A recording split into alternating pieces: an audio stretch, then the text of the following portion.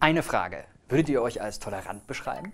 Die meisten von euch sagen jetzt wahrscheinlich, ja klar, tolerant zu sein ist wichtig, wenn man mit vielen verschiedenen Menschen zusammenkommt. Und das tun wir ja Tag für Tag. Dann frage ich mal weiter. Wann ist es wichtig, nicht tolerant zu sein?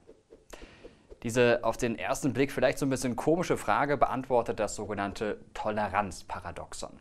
Das Wort Toleranz kommt aus dem Lateinischen tolerare und bedeutet wörtlich etwas zu erdulden oder zu ertragen. Das heißt, eine andere Weltanschauung zum Beispiel zu dulden, auch wenn ihr nicht der gleichen Meinung seid. Aber Toleranz muss eine Grenze haben, meinte der österreichische Philosoph Karl Popper.